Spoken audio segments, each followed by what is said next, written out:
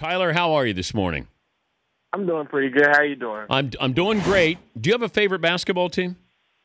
Uh, the Oklahoma City Thunder. Oh, okay. All right. So because they were in Seattle and now in Oklahoma City, so you have to root for them. Nah, see, it's kind of hard because you know I can't really root for them, but I'm from Oklahoma, so Oh. it's kind of a 50-50. Oh, okay. Oh, that's fair. That makes sense. Did Oklahoma recruit you? Uh, no, they did not. Ooh. Did Oklahoma State recruit you? no, they did not. Oh man. Did you get both of those schools when you were at K State? Uh, yeah, we beat we beat them. I think it was two to two. That was what the series was. But did you score? Oh yeah, I had to score. Yeah, when you're playing against your hometown who didn't recruit you, you got to make sure you score. And I and I think we ended up going out with wins against both of them too. Look at you. Look at you. All right, here's another serious question. I'm worried about your quarterback's dancing skills because he's going to get married to Ciara. Is there a Yeah. way to have an intervention where some of you guys can help Russell Wilson learn to dance? Uh, well, I think if we could help him, it wouldn't be me because I struggle with rhythm myself. um, I would have to say it would maybe have to be Kevin Smith or Doug Baldwin or somebody that could be able to help him out with the dance moves because obviously there's certain moves that you got to be able to learn whenever you get married. Okay, but how is it he's able to perform the way he does as a quarterback and the dude can't dance? Oh, I mean, you don't need rhythm to be be able to be a quarterback. Oh. All you got to do is be smart and elusive. I think that's exactly what he is, and I think that's what he does. He he just stays true to what he does best, and that's what makes him so great. Have you received an invitation to the wedding? Uh, not yet, Okay. but I'm sure I will. I'll I'll see him next week. Oh, so you you you assume you're going to get invited to the wedding? I mean, we we shall see. Well, you are one of his favorite targets there, so I would think. So I don't know. Does he put the receivers up closer or his linemen up closer to the wedding party? Uh, I don't know. I might say lineman. Yeah, yeah, yeah. Because that's they, they get watches. They you know you buy them watches. He Russell doesn't get the, his receivers anything, does he?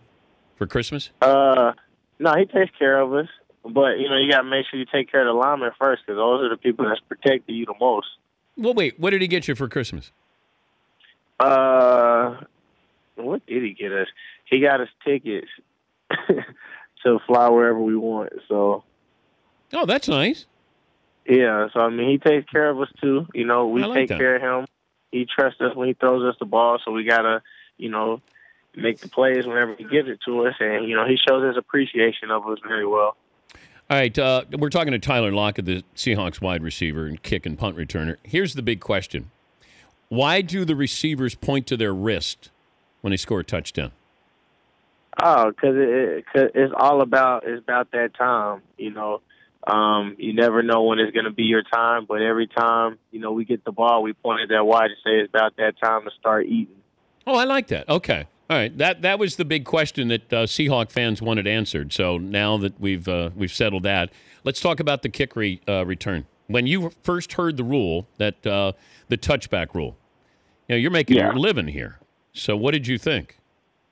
Uh, I mean, it doesn't really bother me. I mean, um, as long as Coach Carroll gives me the green light to keep on returning, I'm gonna keep on doing it. You know, if he tells me to stay in, you know, I stay in. But you know, I honestly think there's ways to beat around the the rule. Meaning, you know, a lot of times when you watch last season, some teams didn't even make it to the 20 yard line, Yeah. and so they was telling them to take a knee. So you know, I think some kickoff coaches are gonna say just kick it one yard deep in the end zone where they're going to return it. Because if people were barely making it to the 20, you know, it, it makes no sense to kick a touchback so it can go to the 25. So, I, I mean, I think some teams are going to kick it to where there's going to be a lot more return balls because they know their kickoff team can get them inside the 20 rather than just giving them an extra five yards from last year.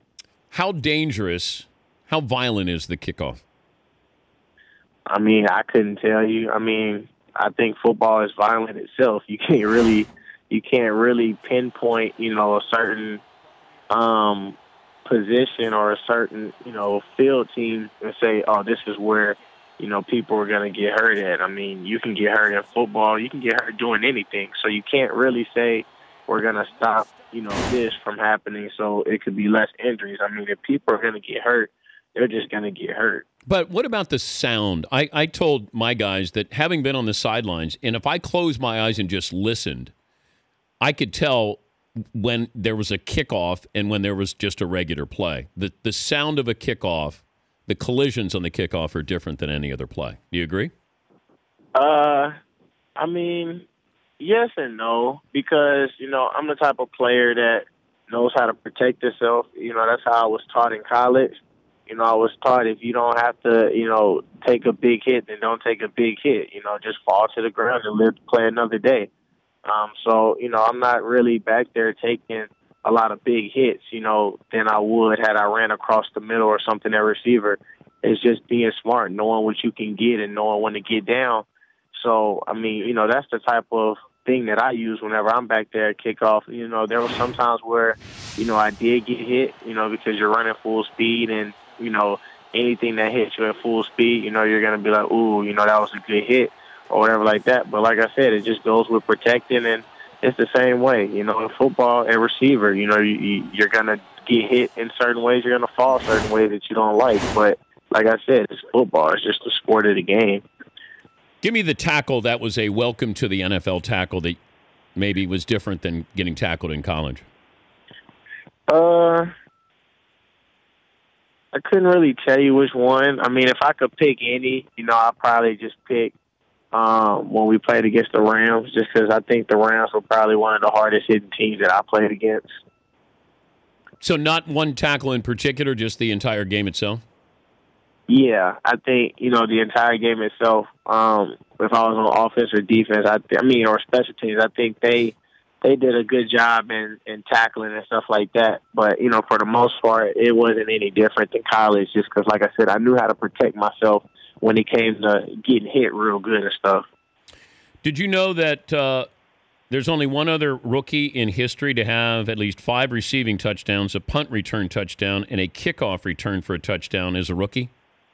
Yes, and I and he went to my rival school, Gale Sayers, yeah, Kansas. Yeah, yeah, that's pretty good company there, Tyler. Oh yeah, it is, and you know I'm blessed to be able to be a part of the the discussion when it came to it because Carroll actually had texted me a um a highlight that I still have yet to watch.